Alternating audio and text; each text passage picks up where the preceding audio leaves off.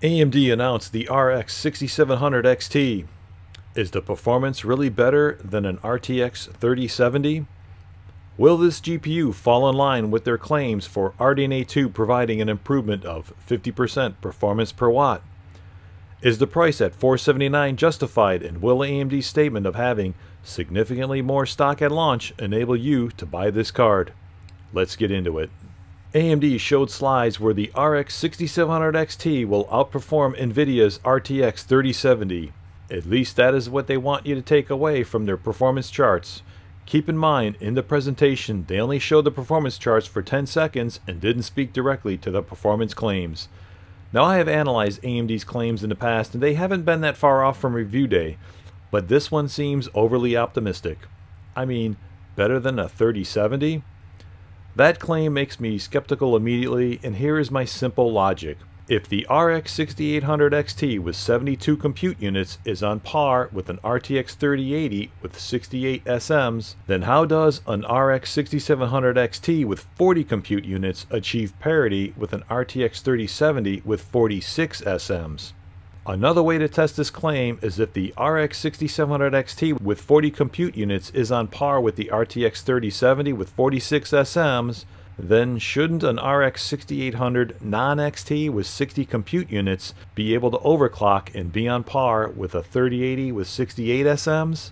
I have not seen anyone make that claim that you can overclock the RX 6800 non-XT to be on par with the 3080. So I decided to do some analysis just like I've done in the past and most recently with the RTX 3060. If you haven't seen that video, before the RTX 3060 launch I wanted to understand what type of performance could be expected for gaming and we had no leaks for gaming performance. I wanted to understand what I would be buying or at least trying to buy. And the analysis I did showed that the 3060 would be similar to an RTX 2070. After the reviews went live, several reviewers who were briefed by NVIDIA were told to expect 2070-like performance from the 3060. Let's start with the performance charts from the last video and chart the performance using TimeSpy versus the number of streaming multiprocessors for NVIDIA cards and compute units for AMD's cards. I'll just show the RTX 20 series and 30 series cards. Now if I plot RDNA 1 in the RX 5700 and the RX 5700 XT, and then add RDNA 2 in the RX 6800, 6800 XT, and 6900 XT. Using my typical analysis, I would predict the performance of the 6700 XT to be about a 3060 Ti level. Well, that seems far off from the better than 3070 impressions AMD left on many. So what am I missing? Well, the game clock of the 6700 XT is going to be a whopping 2424 megahertz. That's a couple hundred megahertz higher than the big Navi cards. And we have seen the performance improvements of having those cards clocked up to 2700 megahertz. So by taking into account the slight increase in game clock speed, then the 6700 XT will bump up to be higher than the 3060 Ti, however it's still a ways off from the 3070. So what else could explain the difference? Well, AMD also showed a slide for enabling Smart Access Memory, or SAM, and how that provides up to a 16% improvement in performance. If I add 16% improvement to the performance on the chart, then the 6700 XT is faster than the 3070. But I wanted to dig a little deeper, and I remember watching a video by Steve at Hardware Unboxed showing performance improvements with SAM on the RX 6800. If you watch any of my videos, you know that I love data and charts, and Steve provides excellent data and charts.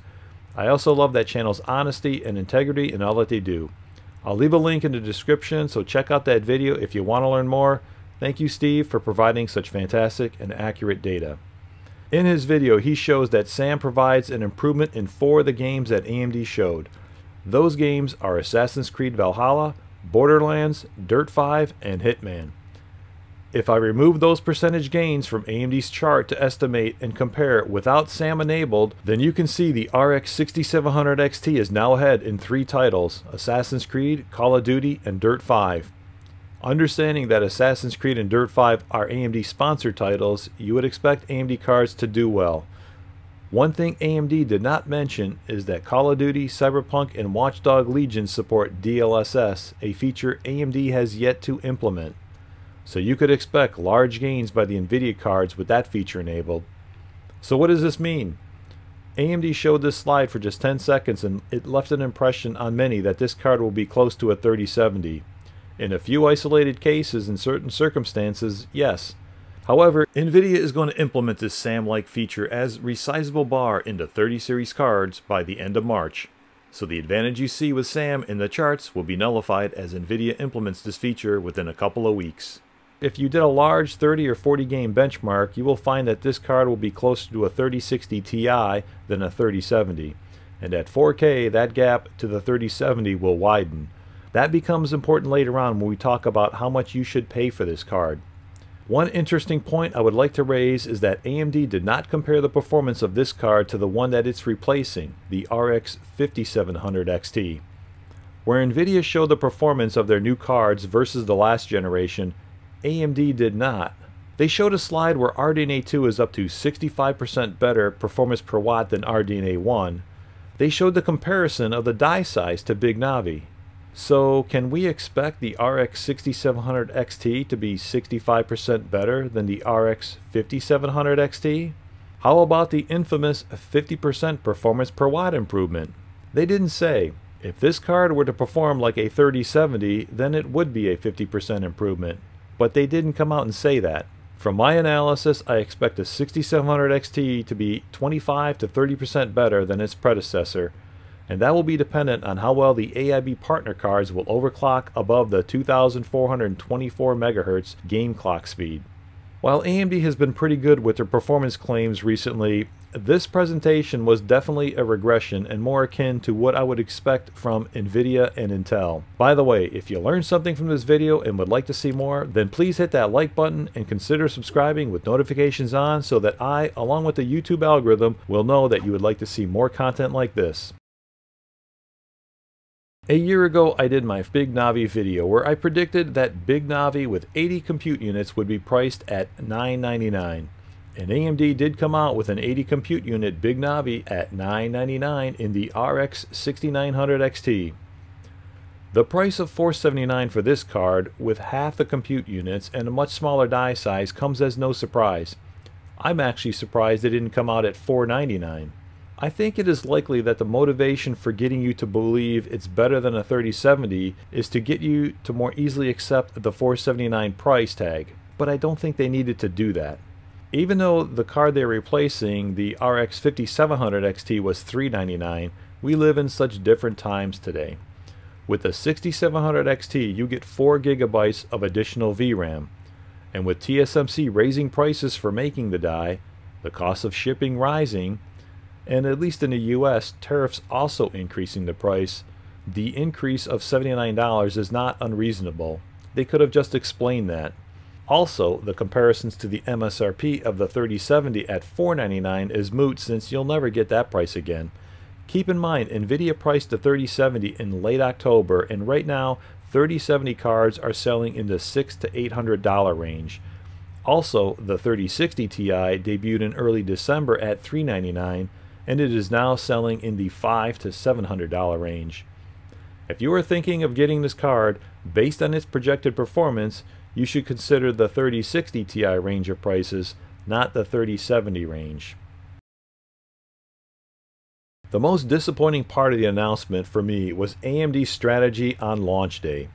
That they will maximize availability by releasing the reference cards and the AIB partner cards at the same time on the same day. Seriously? That's your strategy?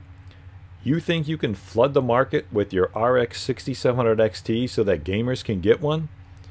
You think you can outnumber the army of bots from miners and scalpers? For miners, I expect it to mine in the mid to upper 40s megahash per second, and while not as good as the 5700, it is still profitable, so this card will be in high demand from miners. To me, it really shows how out of touch AMD execs really are. This strategy is maximizing availability for miners and scalpers. They are not helping gamers at all. The miners and scalpers have been buying these cards in volumes for months now and have had a lot of practice and have become very sophisticated in purchasing these cards in milliseconds while average Joe gamer who buys a card every couple of years has virtually no chance. What is AMD thinking? As fast as they release these cards, the bots will buy them up for miners and scalpers, while average Joe gamer will be left banging on the F5 key and wondering why he can never get to checkout. I was so excited for this generation of GPUs with Big Navi versus Ampere that I made a series of videos. However, in my video in early December, I stated that if availability didn't improve by March, then that this could become the lost generation. Well, it's been six months since the RTX 3080 launched, and I still can't get one for a decent price. Same with the RX 6800. Maybe I'll just wait until the next generation. I hope it turns out better for you. Check out my thoughts on the RTX 3060 or my Big Navi series here. Thank you also very much for watching, and I will see you in the next one.